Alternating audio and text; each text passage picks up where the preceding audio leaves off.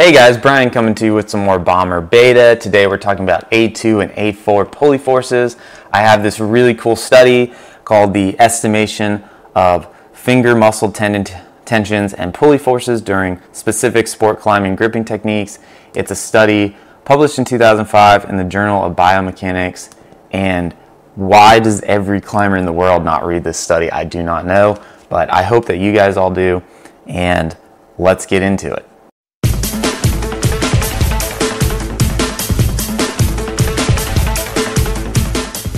So the main point of this study is uh, talking about the difference between a crimped position and an open-handed position. So um, during a crimped position, uh, your pulleys are put under a lot of force. So as you can see here, um, I've labeled on my hand, uh, the A2 pulley is right here and the A4 pulley is right here. They're a ligament that wraps around your finger, holding your flexor tendons close to the bone um, while you do climbing specific activities. You can reduce the stress on your A2 pulley by going from this motion to this motion by, on average, 36 times. that's, that's a lot. That's like, you know, going from 360 pounds down to 10 pounds. That's a lot.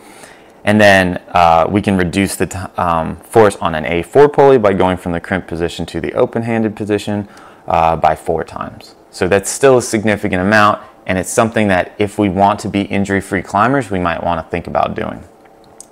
So to review this more thoroughly, I'm going to put you guys on a tabletop view, and we're going to go through this study page by page. Uh, really excited to see what you guys think.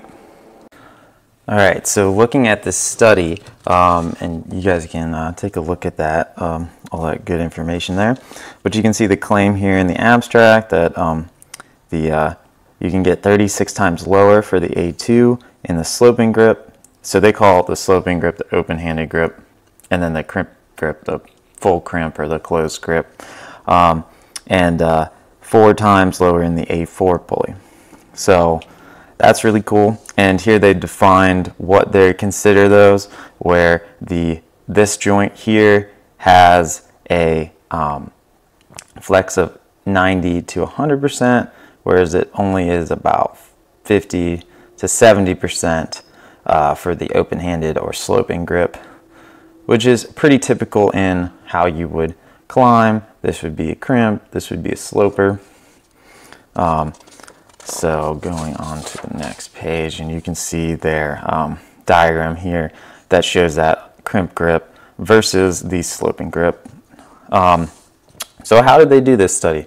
So they took uh, six expert climbers um, and they all uh, could on-sight 13B. So these are very good climbers. Um, I don't know if many of you guys have on-sighted 13B, but that is pretty impressive. So uh, and going into they had a um, average age of 27 um, their average height was 5'10 and their body weight was 145 pounds you can see uh, metric system uh, is what they printed I converted it uh, for the American audience uh, but so pretty typical uh, they didn't say if they were men or not but it seems as though that would be a pretty average male climber at 5'10 and 145 pounds.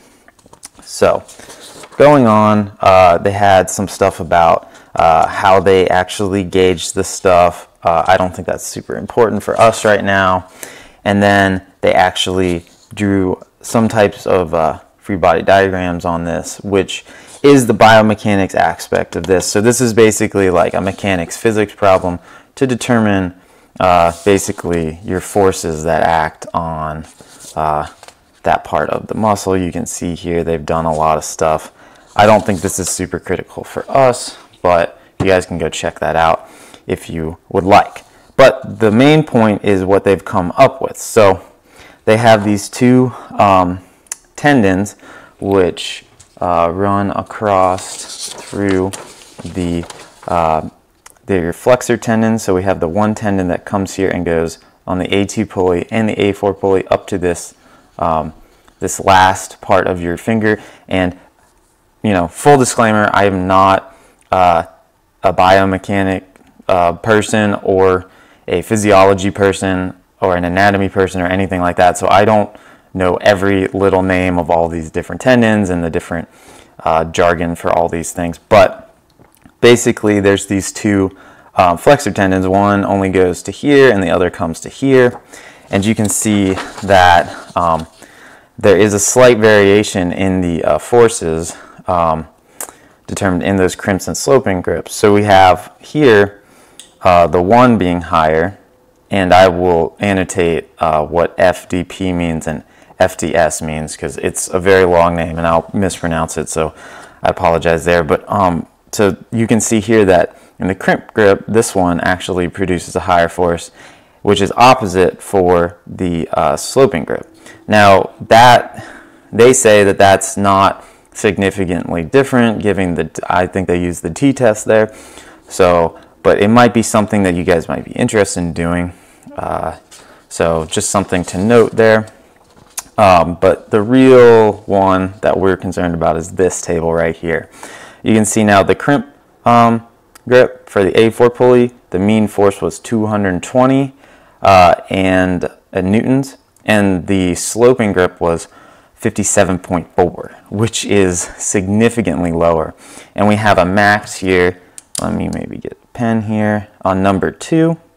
So that 197 to 19 we have a max difference of uh, 10.4 times different, with this being on average around four times different.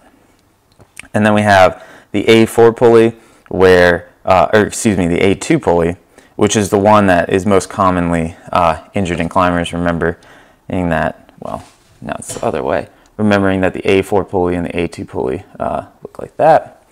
So um, remembering that uh, the A2 pulley is uh, on average here 254.8 with the crimp grip and 8.1 with the sloping grip, which if you could imagine, that's a significant drop.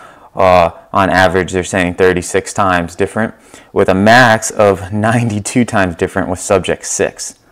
So that's going from 183, 100, essentially 184, down to only 2. So they're basically going from a crimp grip where they're using probably most of their load is coming from the crimp grip or from their A2 and then reducing it to almost nothing. Um, two newtons is very low in comparison to almost 200 newtons. So that is a huge, huge change there. Um, now, uh, going on to this, we have their analysis where they talk about how it's 36 times lower in the sloping grip for the A2 and, and the forces acting on the A4 are four times lower. So what's a little bit of stuff to take into consideration here? Now, as you can see, there's only six subjects here. So there isn't really um, a large database here, um, but we do see that in no case is uh, the crimp grip ever higher than the excuse me the crimp grip is never lower than the sloping grip. So and, and that is something that I think is uh, maybe if we did this this test with more subjects, we might not run into the, uh, the same exact results, but I think we would still point to it being higher than um, with the crimp grip as opposed to the sloping grip. And obviously, the less force on those pulleys, the better, because that is the number one way to not be able to climb at all is to tear one of your pulleys. Now they did make a point here that um, you know this might be a good way to reduce your risk of injury, but it's not exactly uh, what happens during rock climbing, and there might be other factors at play essentially. So uh, just keep that in mind as well. That sometimes you can't open hand like you can't open hand a sharp crimp like it just doesn't really work. Your fingers have to go into it, so you end up closing your hand. So sometimes you can't use an open grip, but you know it's usually good. Now, one th another thing to note is they did not take in effects of the A3 pulley, um, and that being said, they don't actually know the forces on the A2 and A4 pulleys for the study. They used this biomechanical model that did all that crazy math and that physics stuff to end up getting the results that they did. So this is an estimation, but they feel as though that the A3 pulley is negligible um, compared to the A2 and A4 pulleys. And again, they are the experts at biomechanics, so I have to trust them to some degree in, in that. And you can see here that in conclusion, the forces of the pulleys are particularly lower in the sloping grip than in the crimp grip. So, in conclusion, basically, if you want to reduce the forces on your pulley, if you're getting tweaks, if you've had injuries in the past, try to reduce closing your hand while crimping. Try to practice that open-handed grip, that sloping grip, and try to get that stronger in your climbing and get used to doing it like that. You know, practice maybe three finger open, try and do maybe a half crimp where you're not quite closing it all the way. Like I have very short pinkies. Um, some people might have longer pinkies, so they might be able to do a full crimp even a little more open than I can. So practicing that, getting better at that, you might reduce your chance for injury um, up to 92 times in the A2 pulley. So something to, to look at. Um, I'll leave a link to this study uh, in the description below. Uh, if you guys like this video, uh, give it a thumbs up, uh, subscribe, do all that good stuff, and uh, I'll catch you later.